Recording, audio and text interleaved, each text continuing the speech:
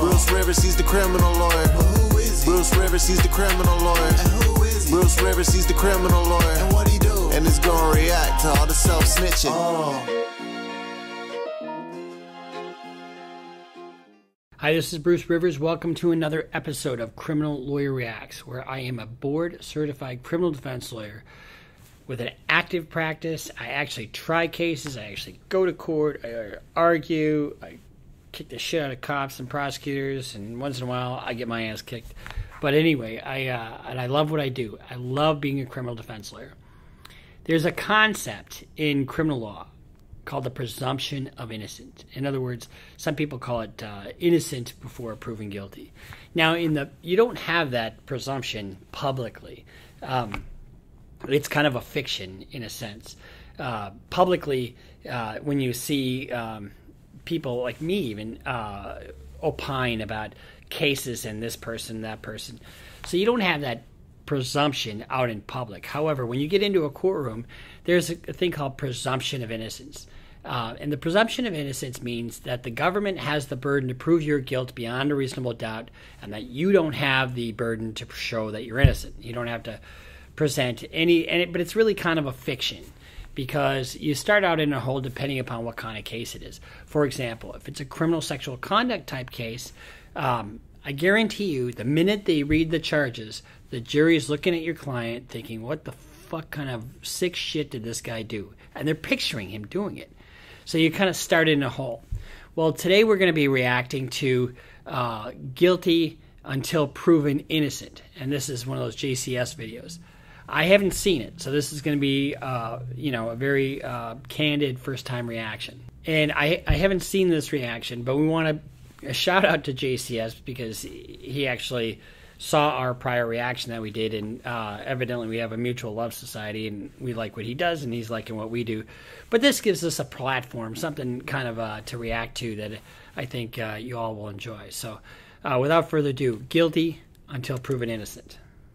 With respect to interrogation analysis, it's no secret the benefit of hindsight gives you a considerable advantage when evaluating information. When you know a subject is guilty, it allows you to exclusively look for guilty behavior. The knowledge of outcome highlights the imperatives while stripping away non essentials, and this allows you to calculate certain things that would otherwise be overlooked by cause of your own doubt. One of the things that people do is they ascribe behaviors. How would this person react? Um, you know, when they, when they found out that his wife died, he was crying, but there weren't any tears coming out of his eyes, or he really didn't give a shit, or in the Brian Landry, Laundrie situation, he took off. So those are all things that people can point to for guilt. Hindsight is 2020. Everyone is well aware of this aphorism, and what's fascinating is that it not only applies, but is far more compatible to the innocent than it is to the guilty. The reason for this is because the information you have to scrutinize is reduced when dealing with innocent subjects. When you remove the versatile factors of misdirection and trickery, you're left with relatively straightforward behavior in comparison. Of course, the argument that everyone is different and can react in a different manner has merit. Human beings are unique. And that is exactly true. Um, we all react differently to different stimuli. Some people, in the face of tragedy, actually laugh. And that laughter can be misinterpreted as, uh, you know, evidence of their guilty conscience. When in, in reality, it's just a nervous reaction. And there will always be exceptions to every rule, especially when you take into consideration that trauma can cause atypical behavior. Yet, atypical behavior and guilty behavior are generally distinguished from each other with relative ease. And that brings us to example number one 37 year old Michael Dixon, described by his peers as popular, friendly, but also unassuming and reserved. A self professed introvert who turned down a job as a trade show presenter due to his fear of public speaking, and kept his position as a trade show assembler instead. On August 15, 2003, in Hamilton, Ontario, police were called to report a man breaking into a jewelry store. Two now, keep in mind, it's Hamilton, Ontario. They don't have the same constitution that we do officers responded and chased the perpetrator from the store down an alley before momentarily losing sight of them. At the same time, Michael Dixon was getting off a bus nearby coming home from work. He was the first person the police saw when coming out of the alley and was then arrested at gunpoint. Dixon voiced his innocence but didn't resist arrest and stayed. So, in almost every scenario, the minute that you're encountered with the police, you should just zip a lip. Unless you can absolutely conclusively prove that it wasn't you and you were someplace else at the time. In this case, they found him right outside the alley, so he looks like a suspect. He would help in any way he could. He was taken to the Hamilton police station and questioned two hours after his arrest. Now you see him sitting there in, in the uh, interrogation room. One of the things, one tactic is to let you sit there and sit there and sit there and sit there, and then you do all kinds of stuff. You maybe you're crying, maybe you're uh, not crying, maybe you don't know what's going on and you're laughing, or you know, and whatever behaviors that you exhibit there, they try to ascribe uh, some kind of guilty um, indicia to it.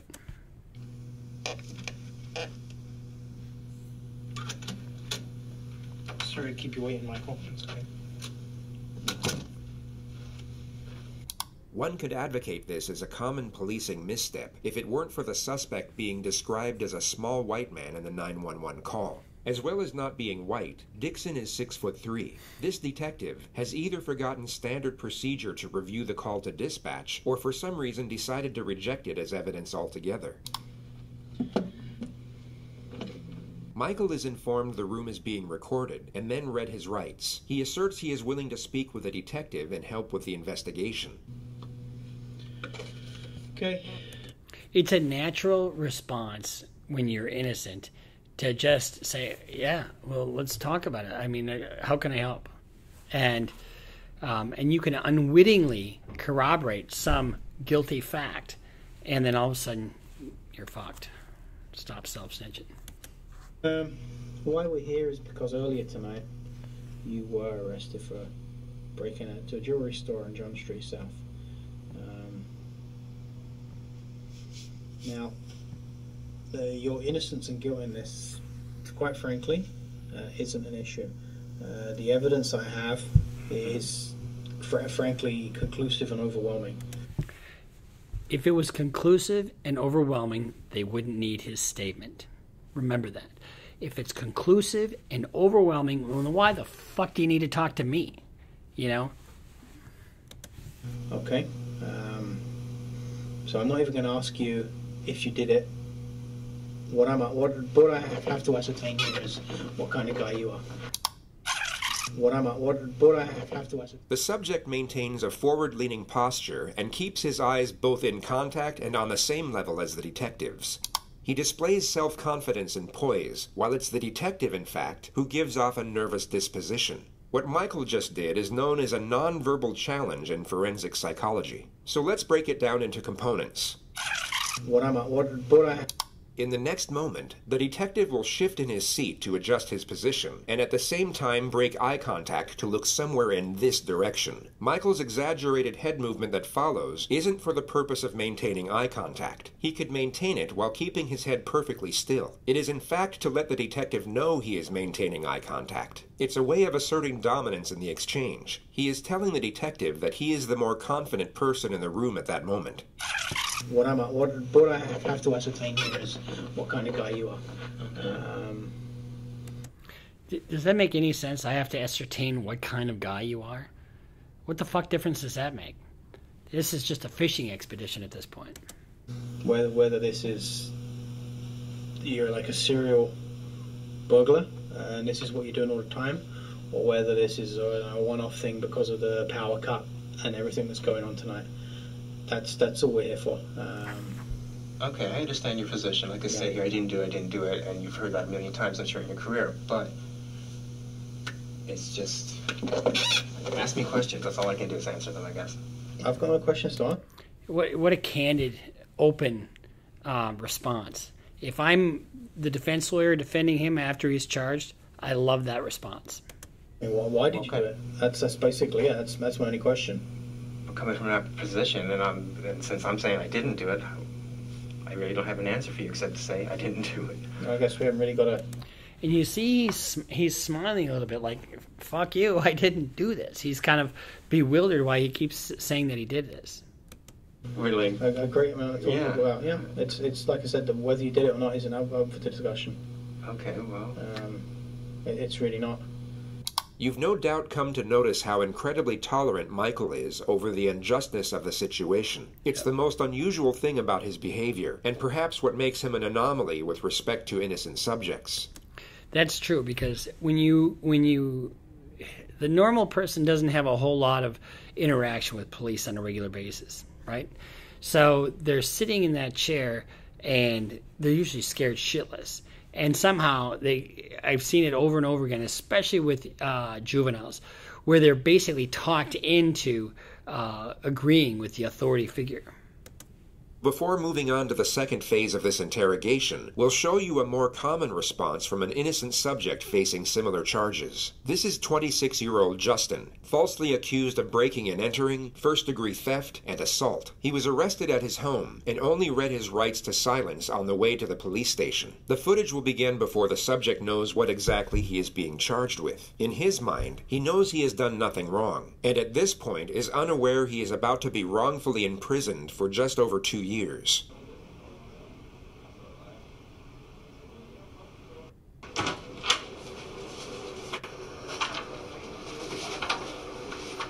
Alright, Justin, get that form. You know what I read you earlier? The 19th of February. Two days ago, so it'll be Tuesday. Alright? About 5, 6 in the morning. Where were you at then? I was at my mother's house. You call her and ask her. I was downstairs asleep. Did, does she know? Did you know you were asleep at that time? Yeah. He doesn't see the interrogators as a threat, but more of an inconvenience. His responses are short and concise. He does not seek approval. He only responds to a question or states a point. I mean, did she see you sleeping at that time? Yeah, I don't never leave. I, if I ain't doing nothing, I stay at my mother's house. So I'm not working, I'm at home. Uh-huh. You were, you didn't go to Labor Ready that day or nothing looking for like, looking for a job, yeah. Okay. Uh, that morning, house got broken into. Okay.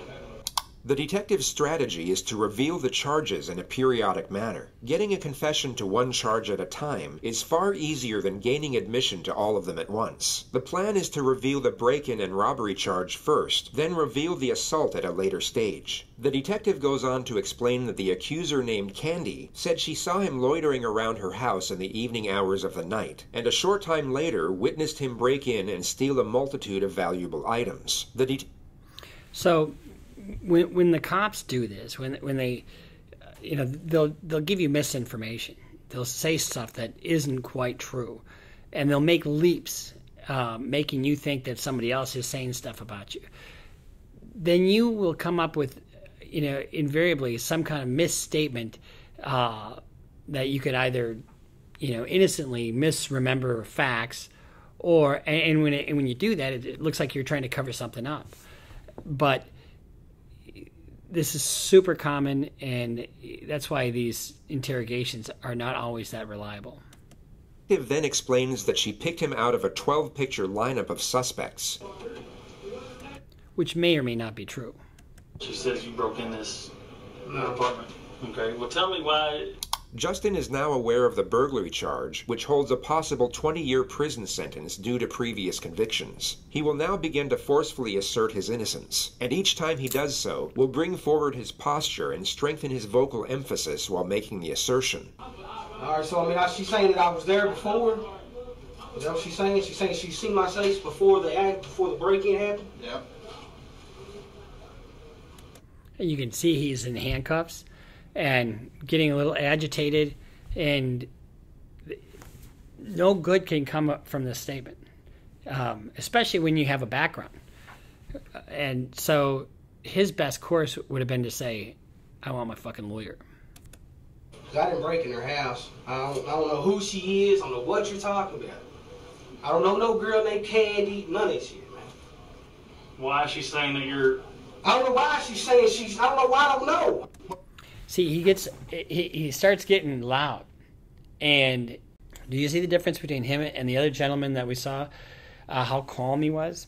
Um, this looks like we thinks thou doth protest too much. That's why even if you're innocent and you sit there uh, and protest your innocence, it may, especially when you're obstreperous like this, that you look uh, possibly guilty. Doing there?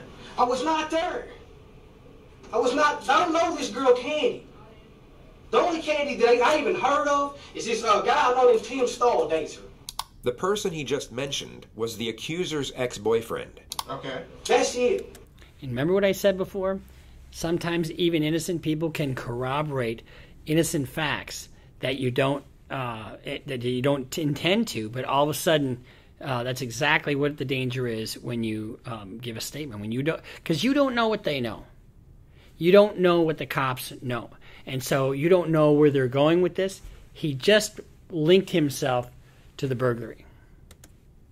How do you know Tim Stoll? I grew up with the dude, man. The accuser's testimony was later picked apart in court. She was caught lying on the stand multiple times, and Justin was exonerated. He was proven innocent not just beyond all reasonable doubt, but essentially beyond all doubt. Last thing I heard about them two, she had him arrested for domestic violence. That's all I know about this girl Candy. I ain't never went in that girl's house, none of that shit. I didn't do that shit. I did. As God is my fucking witness, I did not do it. I used to be a piece of shit when I got fucking penitentiary. I told myself, "Boy, going back." I ain't done nothing but work my fucking ass off the entire time I've been out. Can you can you prove other than you saying you did not? Is it that, that morning? What can you tell? How can you prove to me that you were at home? All you gotta do is call and ask my mother. So you're telling me you didn't step foot out of the house Not one foot. Tuesday? Not one. The detective then goes on to reveal Justin is accused of assaulting the supposed victim during the robbery. You take a vanity mirror and you hit her over the head with it and you guys fight. And she got injuries. No, man. And hell no, man. Get her goddamn boyfriend Tim Stone in here and question him about her goddamn injuries. Look at that straight right there. This sounds like it's a goddamn thing that fucking her boyfriend Tim Stone done fucking done something to her, and now they're trying to put it on me. That's exa- I know that's what the fuck this is. And look, that's why we're talking to you, okay? No, this is bullshit, man, because I've tried everything in my fucking power to stay the fuck out of this goddamn fucking penitentiary shit. I So when you when you see him, it's got to be really frustrating when you're being accused of something you didn't do. But the best course is to keep your cool, shut the fuck up, ask for your lawyer. I do that shit, man. Okay. That's that's what we're talking to. We're here. Although when you get to trial and you have all these denials, um, you put your client on the stand and they deny, deny, deny, deny, and then you get the cop on the stand and you can play this and say, "Well, what did what did he tell you?" It's called a prior consistent statement. And that- those prior consistent statements come into evidence, and so uh, and those are those are helpful. But it's a fucking landmine that you're walking through because you don't know what information you could uh, erroneously corroborate. We're here to investigate this, okay? That's why we're asking all these questions. I'm sorry for freaking out, man, but I didn't fucking do this shit, man. I'm fucking shaking. I did not fucking do this, man. Justin had already served three years in prison for a robbery in his early 20s. He more than likely knew the reassuring tone of the investigator wasn't a good sign. Although slightly more animated than the average person, this form of aggression is a commonplace response from the innocent being directly accused. He comes off aggressive, but in a defensive manner. He is not being hostile, but highly combative when professing his innocence. His conduct is totally justified considering the circumstance. When facing a considerable amount of time in prison for something you didn't do, this level of anger is warranted. So it And th- and think about this. He spent two years in the county jail fighting this. Two years. That's what we call guilty until proven innocent. Paired to the forgiving composure of Michael Dixon, the extraordinary nature of his behavior becomes even more pronounced. I really don't have an answer for you except to say I didn't do it. I guess we haven't really got a, Really. a, a great amount of talking Yeah. about. Yeah, it's it's like I said, that whether you did it or not isn't up, up for discussion. Okay, well. Um, it, it's really not. There's a number a number of witnesses, Great. one of whom had a video camera. Perfect. Yeah. Oh. What, what a genuine response. Great. I'm glad they're witnesses. Bring them forward. I, I love this guy. You know, I like the other guy too. I mean, you have to feel for the guy because he gets out of the penitentiary. He's probably busting his ass every day. I go to work, I go home, I don't do anything else. And then he's trying to live a good life, and then he spends two fucking years in the county jail because nobody gives a shit and he can't afford bail. Or they have him held without bail. And I just, this guy is just calm, cool, and collected. He's never been through this. The other guy's been through that, and that's probably what gives him all that animation. Well, that's that. relieving. That's relieving. To be quite That's relieving. Gotta fucking love that. That's a, that is just a delicious response. If uh, if I'm the criminal defense lawyer in this, Yes. Yeah. So view the video camera. I have. Okay. That's why your guilt isn't in, in, in issue here. That doesn't even make sense to me. Because if I'm on the video camera, that doesn't make sense. You have a video camera that shows me? Yeah. That doesn't make sense. It makes perfect sense to me. Um, we'll have to, I guess, I have no choice but to get a lawyer then, if this is the kind of thing you're going to Well, go through is- with me. This isn't, mean, this isn't going to go away. You- You're, you're charged with breaking in. You will be I charged tonight. Okay. You will be going to court in the morning. Perhaps the most upsetting moment, considering the fact that we know this man is innocent. You can see the fear emerge in his eyes as he realizes he won't be going home after this interview. Uh, charged with breaking in with intent. Okay, that that's that's what's going to happen right now. He is noticeably afraid of what lies ahead, yet reacts to the situation with reasoning and intuitiveness. Can I ask you something? Okay, are you just making this up that you have a video camera so you see how I react? Because it goes no, no, that this is a this is a smart guy, you know, and this is a guy that's clearly innocent because he's like, "Are you just making this up because there's no fucking way I'm on any video camera?" That and that's what he's thinking in his head. But he's he's also very intelligent and and uh, calm in the way he's going about this. you're saying, okay, let hear me out for a second, please. If I am guilty, as you believe, because you had me on video camera, then okay, we'll go through the procedure. But I'm saying, I, I, you know, trying to call your bluff here because since I know I didn't do it, there's no way I can be on the video camera. Well, like I say, this isn't So- game, it's not game of poker. Okay, well, I've, got- I've got nothing. I'm to not gain trying to from give you a hard that. time. And I would love, love, love, love, love to jam those facts up that cop's ass, fucking hard and twist. You know what? I've got nothing to gain from that either way. Um, which is why I'm not asking you, did you do it? I'm not trying to catch you out. I've got nothing to gain from that. Getting a confession void of evidence is in fact excellent for an investigator's career. It's a mark of merit and can accelerate promotion. Michael continues to profess his innocence in a calm and composed manner for a further seven minutes. The detective then asks that he draw out a map and specify his movements before the arrest. Every detail of his alibi was later proven to be 100% accurate. Like I said, on the information I've got, And one of the things about cops, there's two types of cops cops that just give the facts, and cops that have an agenda.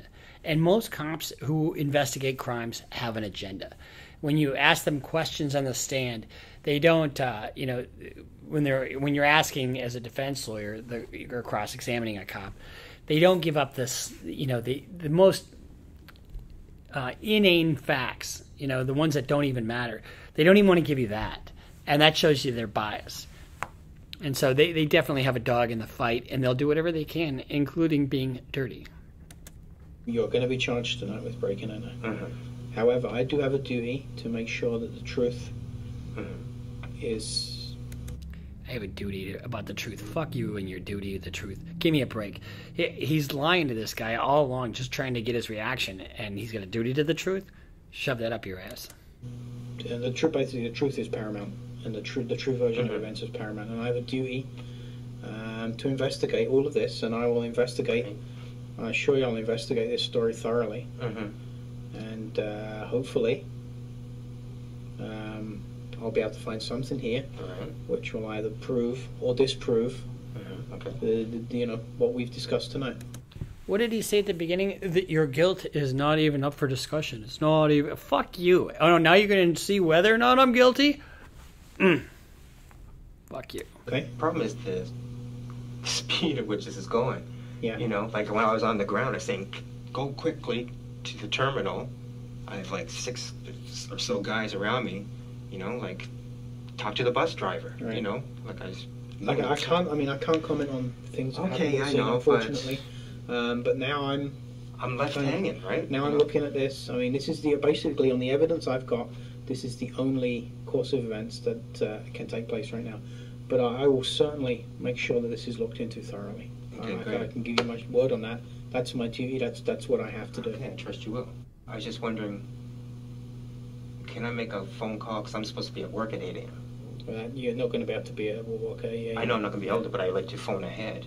I can arrange that uh, that you get the phone call to let someone know that you're not going to be. You know, and they and they take a fucking sick pleasure. Uh, oh, you're not going to be able to go to work tomorrow. Oh no, no, no! It's not even up for discussion, you motherfucker. place. Yeah. So I'm hanging in that room till 10? No, whatever? we'll be taking you downstairs Okay. uh, to uh, a larger custody facility which you have downstairs. Sounds lovely. Well, it's not the most pleasant place in the world, but it's only Sounds for a few like hours. fun. Okay. Okay. Uh, from from court tomorrow, what happens there? I don't know. Okay, well. I'm And I kind of look freaked out. will you know? look into all I. I trust you will, yeah. I trust you will. Listen, listen to how calm and respectful this guy is with the cop. And not not to mention, do you remember what they said at the beginning of this video? That the suspect was a short white guy and he's a tall black guy. Give me a break. Um, you know, I want to make, I'll make sure we got the whole picture. Okay. Okay. Well, thank you, I guess. Okay. Uh, you're not in an enviable position, and uh, you know. I understand the like the process. I just I'm not satisfied with it. That's what I'm saying. You know. Uh, and I, and I don't. I don't And expect that you're going to be happy with it. You know, and I'm thinking, I, no disrespect to you, but I know someone sitting in this chair has probably lied to you a million times, right? So I'm thinking, what can I do to Uh, convince you? Try to give you the information. Like, You've, you've, been, you've, you've been you've been very good with me, and I, I try and treat everybody as an individual. okay. And my main aim is uh, two things: is that you get your rights Mhm. uh, that you're you're entitled to under the Constitution of Canada, Mhm. and that uh, you- you're treated decently, and uh, that the truth comes out. The truth eventually did come out, but the suspect wasn't treated decently. He was kept in jail for three and a half days before a separate investigator looked into his alibi witnesses and checked surveillance of the area in question. He was then exonerated immediately. A civil trial ensued, and Michael was awarded $46,000 in punitive damages. The interrogating officer and three other investigators were all demoted and suspended without Good. pay. Well, this was this was an excellent commentary on uh, interrogations and guilty before proven innocent. Um, and it's sad that that guy had to go through it. They had information suggesting it wasn't him. You know, I mean, and what was gained by that officer doing that?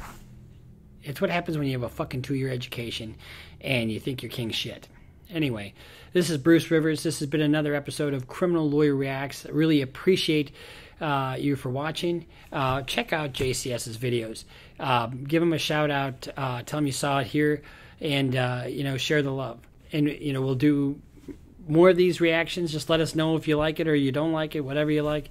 Um, and uh, make sure you follow us on Instagram, follow us on Twitter, sign up for Patreon, get a hat. We'll see you next time here on Criminal Lawyer Reacts.